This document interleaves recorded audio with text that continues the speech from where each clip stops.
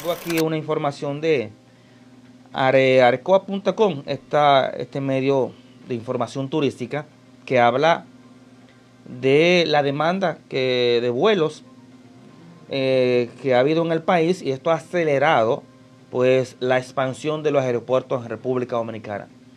Y a mí me da mucha, mucha pena, de decir, y impotencia ver cómo todas estas noticias no, no abarcan la provincia de Samaná. Y vi que está, bueno, el llamado clúster turístico de Samaná estuvo reunido viendo la posibilidad de que una línea aérea pues tome en cuenta la provincia de Samaná. Yo no sé si yo si soy yo el único que tiene esa preocupación, pero yo creo que Samaná no debería estar en esa situación y podría a través de ese aeropuerto internacional que tenemos ahí del CATEI pues producir riquezas para nuestra provincia. Porque la ubicación, y lo he repetido en muchas ocasiones que tiene ese aeropuerto, no necesariamente tiene que depender del desarrollo único de la provincia de Samaná en términos turísticos. También podría servir para enlazar a todo aquel que quiera visitar Samaná, pero también que quiera visitar Puerto Plata, incluso eh, Río San Juan, sobre todo ahora que todos los policías se van a, a preparar en un hotel cinco estrellas porque el Estado ha arrendado ese hotel por unos 471 millones. Yo siempre metiendo el chismecito en cualquier oportunidad. Bueno, la gente que quiere venir a Cabrera, la gente... María Trinidad Sánchez es una provincia enorme, pero San Francisco de Macorís, señores, está casi, creo que está más cerca San Francisco de Macorís de, de Samaná que de Santiago. No sé la distancia, pero yo no creo que sea mucha. ¿Eh? Pero Monteplata, el propio Santo Domingo podrían usar a Samaná en algunas ocasiones. Nosotros nos usamos el de Punta Cana, ¿eh? que es mucho más lejos. largo ese viaje. Entonces, lo que no ha habido es voluntad de que este aeropuerto arranque. No ha habido voluntad. No sé qué pasa. Ahí sí, de verdad, yo creo que ha habido eh, algunas mañitas para detener el desarrollo de la provincia. Entonces... Pero perdón, Belilla, ahora tú tienes que hacerle ese llamamiento, no es a las autoridades de Samaná, sino a las de Nagua. Y usted me excuso yo. Bueno, pero eh, ahora se lo hacemos a la de Nagua porque la de aquí no tienen pantalones para hacerlo y nosotros hemos etiquetado al aeropuerto que debería ser de Samaná como de Nagua porque ellos son los que están aprovechando de lo poco que hay ahí. Del cadáver, del esqueleto que es el aeropuerto de nuestra provincia el único que se aprovecha en un mayor porcentaje es, la provincia de Nagua. Entonces, reitero que la subida de la demanda de vuelos acelera la expansión del aeropuerto, de los aeropuertos en República Dominicana. Dice, la demanda de vuelos hacia República Dominicana acelera de manera extraordinaria la expansión de los principales aeropuertos del país con el objetivo de seguir ofreciendo a los pasajeros un servicio de calidad y mucho más dinámico, acorde con los nuevos tiempos por ello, el grupo Punta Cana, ya ha hecho no sé cuántas expansiones, se encuentra realizando varios trabajos de infraestructura en algunos de sus proyectos para mejorar la experiencia del cliente y a la vez en ensanchar los negocios de cara a, a una mayor demanda. La empresa, señores, está invirtiendo, ese es el grupo Punta Cana, en la expansión de su aeropuerto privado, 90 millones de dólares en la terminal B2 pero yo no sé cuántas ya terminales tienen eh, el aeropuerto de Punta Cana. Tiene como cuatro terminales, señores, para que ustedes entiendan el nivel de crecimiento que ha tenido esa zona. Más de 100 vuelos diarios. Nosotros con cinco vuelos diarios seríamos una provincia distinta. Con cinco vuelos diarios. ¿Eh? Porque ¿cuántos serían esos semanales? ¿Eh? ¿Cuántos serían esos al mes? Con cinco vuelos diarios, David Collado. Presidente Abinader que que encabeza el, eh, la comisión turística. ¿Eh? Pedro Catrén, deje de hablar de política y empieza a hablar de desarrollo, de expansión de nuestra provincia. Caramba, señores. ¿eh? Uno tiene que incomodarse aquí con este tipo de cosas. Y todo está bien. Y esto es un comando de campaña. Un comando de campaña habla así. No, un comando de campaña no habla así. Esto es un medio de comunicación que le duela a quien le duela. Entonces, señores, con esta adición en sus instalaciones, la terminal para recibir 1.5 millones más de pasajeros. Oigan eso, señores. 1.5 millones más de pasajeros. Con 100 mil pasajeros que recibamos nosotros al mes, cambiaríamos por completo la estructura económica de la provincia de Samaná. Asimismo, la administración de los aeropuertos siglo XXI, Aerodón, que es la que administra Samaná y tiene ese aeropuerto abandonado, que deberíamos rescindir ese contrato, y ahí debería estar Pedro Catrén revisando ese contrato, ¿eh? que ha detenido por completo la expansión y el desarrollo de ese aeropuerto. ¿Mm? Asimismo, repito, la Administración de Aeropuertos Dominicanos siglo XXI, Aerodón, realizó una inversión de más de mil millones de pesos en el Aeropuerto Internacional de las Américas, AILA. ¿Eh? Ustedes sabían que el aeropuerto Arroyo Barril también es parte de esta concesión. Y vayan a ver el esqueleto que es eso, el abandono que hay en ese aeropuerto Arroyo Barril. Pero asimismo lo hay en el aeropuerto de aquí del Catey. ¿Mm? Entonces, dicho proyecto en la terminal contempló la reubicación, modernización de los servicios de seguridad e inmigración para eficientizar el proceso, permitiendo una agilización de los trámites de frontera. Eso fue en el Aila, no en Samaná. En ese sentido, el CEO de Arayet, esta empresa de bajo costo aérea que está teniendo mucho éxito, Víctor Pacheco Méndez, corroboró la necesidad que existe en el país y especificó en Santo Domingo de contar con un nuevo aeropuerto como ya había informado Mónica Infante, directora de Aerodón, que para el 2026-2027 se contempla la construcción de una segunda terminal aérea en las Américas para extenderse a nuevas frecuencias y rutas que permitan la llegada de mayor cantidad de turistas y pasajeros regulares. Ellos están pensando en construir más aeropuertos y qué bueno, pero nunca tuve en esos proyectos de expansión de mejorar las terminales aéreas a la provincia de Samaná. Qué pena, Dios mío. De su lado, el aeropuerto internacional del Cibao, el Cibao, Santiago. Y Santiago no tiene playa, tiene industria, sí, pero nosotros podríamos estar a la par de Santiago. O por lo menos ahí. Nosotros con la mitad de los vuelos que llega a Santiago, que no es un aeropuerto turístico. Oigan, escuchen esto. Con la mitad de los vuelos que llegan a Santiago, la mitad, la mitad, seríamos una provincia completamente diferente en términos de ingresos económicos en términos de oportunidades de trabajo para la gente, en términos de desarrollo. Totalmente distinto. Con la mitad de los vuelos que llegan a Puerto Plata. De su lado, dice, el Aeropuerto Internacional del Cibao anunció el inicio de los trabajos de la primera fase del proyecto de expansión que tendrá una, una duración de dos años y medio. Dicha etapa conlleva el arreglo de más de 60 mil metros cuadrados y contempla la construcción de una nueva terminal de pasajeros, viajes, accesos de tránsito externo, así como estacionamiento. Ahí ellos están haciendo nuevas terminales.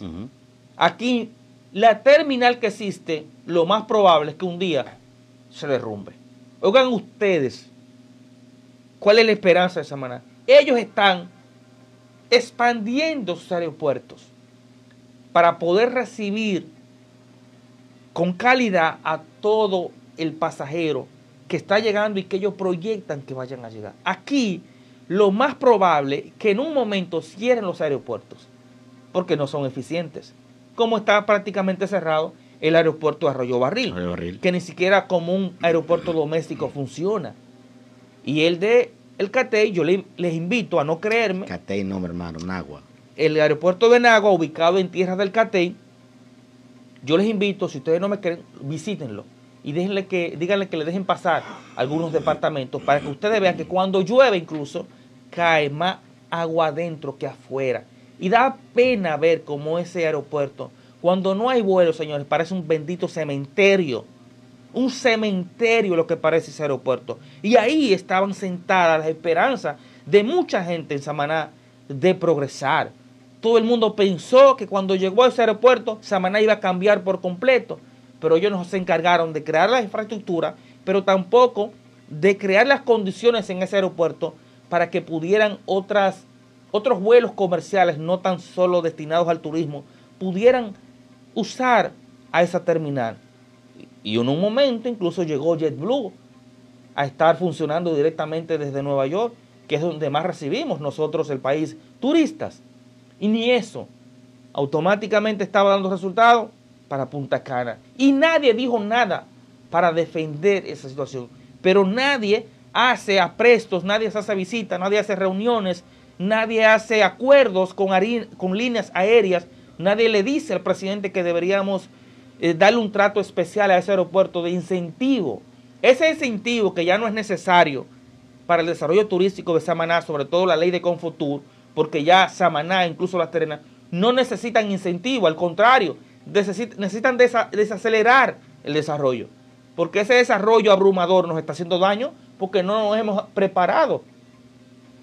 No tenemos la infraestructura para recibir todo ese desarrollo que está llegando aquí. Entonces, ese incentivo, esos impuestos que ustedes le quitan a Samaná y a las terrenas, que pudieran ser usados para viabilizar algunas cosas, deberían quitárselo al aeropuerto de Samaná para que líneas aéreas empiecen a llegar gratis ahí incluso. Gratis para ustedes, pero gratis para nosotros nunca, porque eso significa ingresos económicos, eso significa desarrollo. No permitan que Samaná sucumba de esa forma. Si no lo van a usar, desbarátelo y punto. Y trasladen a un lugar más cerca de los nagüeros para que ellos no tengan que...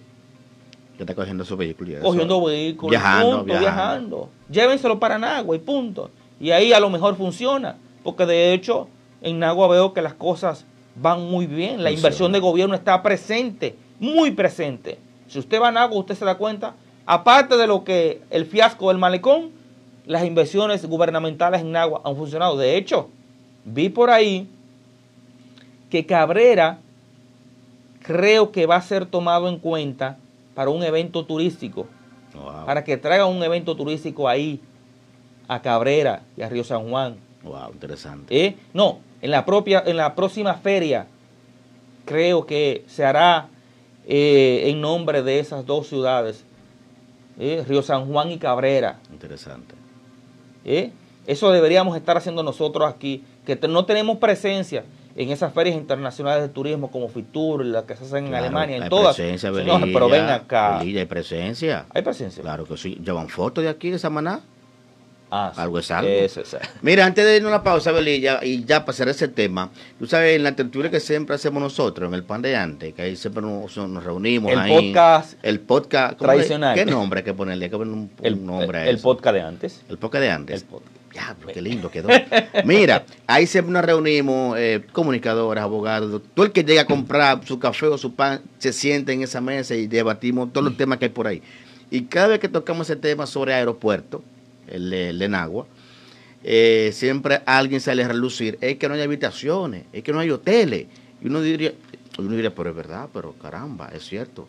Tanta, puede ser que un día aeropuerto haga boom, lleguen muchos aviones, muchos ¿dónde tú vas a meter esos, turistas?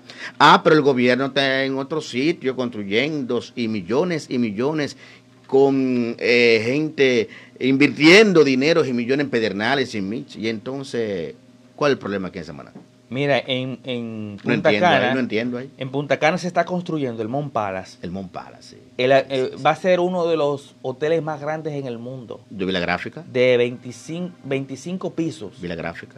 Sí, sí. Una monstruosidad. Aparte de la monstruosidad que ya es Punta Cana, se está construyendo el hotel más grande o uno de los hoteles más grandes del mundo. Para que ustedes vean el nivel de expansión que va a tener esa zona. Y esa zona incluso ya está acaparando lugares, por ejemplo, Macao, eh, Alto, y Miches, donde están incluso los Rainieri. La expansión de los Rainieri en el turismo no es en el Punta Cana, es en Miches. ¿Tú sabías que en Miches ya hay una asociación de hoteleros? Claro. Ah, pero a propósito, ¿aquí en las terrenas hay una asociación de hoteleros? Y no, no, mi hijo no. No hay una asociación. No, mi hijo no. Digo yo que no hay, pero yo. no sé. nunca lo veo reunidos pidiendo nada. Exactamente. De hecho, con todo lo que pasó en Semana Santa, esa asociación, si hubiese existido, hubiese estado dando una rueda de prensa. Una rueda de prensa. O un comunicado. O una reunión urgente con el alcalde. ¿Eh? Pero bueno, Vamos a una pausa y regresamos más con más de este eh, comando de campaña Después de la pausa comercial, el 43.6% de cotizantes está en riesgo de tener una pensión disminuida. Le diremos qué está pasando ahí después de la pausa. Todas las mañanas en horario de 7 a 9. El desayuno. El desayuno. Escúchalo por Terra 95.5 FM. Llegó el momento perfecto e ideal para crear o remodelar tu cocina. Nosotros lo tenemos todo. Solucentro. Cocina en Fresno Tea y Fresno Estepa. En Tope Granito Mondariz. Cocina MDF. Tratamiento hidrófugo. Color Water Drop. Tope Granito Dallas. Accesorios Blue Metabox. Cambia de vida. Cambia tu cocina. F. Tratamiento hidrófugo. Mediterráneo. Calle Duarte número 41. Teléfono 809-240-5265. Solucentro. Cambia de vida. Cambia tu cocina. La terrena, nada más hay un solo lugar donde me tratan el vehículo bien. Ama Autoservice. Eso está, tú ves en la calle Boulevard Turístico del Atlántico que hace esquina con la calle Sánchez en la terrena. Ay, mimito, no de más vuelta, porque ahí es el único sitio que te va a atender un personal completamente capacitado. En alineación, balanceo, cambio de acerte, freno, tren delantero, rectificación de disco y la más completa gama de goma para todo tipo de vehículos. Trae el tuyo a Ama Autoservice y mientras te lo arreglan te puedes beber tu cafecito en nuestra cómoda sala de espera. Boulevard Turístico del Atlántico, esquina calle Sánchez en la terrena. Con el 829-470-2591 o el 809-989-6173. Ama Autoservice. Recomendado por mí. Trompo Loco.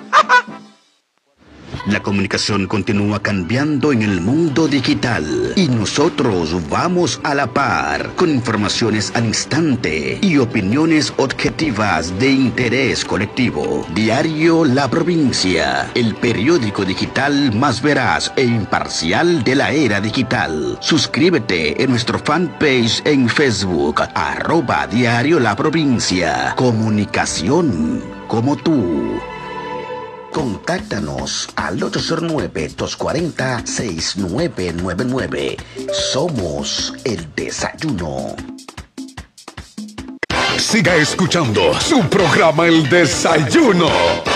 Y seguimos, seguimos, señores, con esto que es el desayuno, este programita. Hora 8, 10 de la mañana.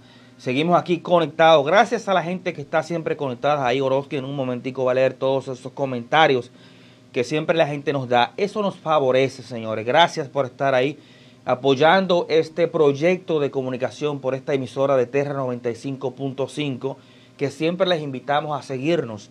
Ahí en la radio usted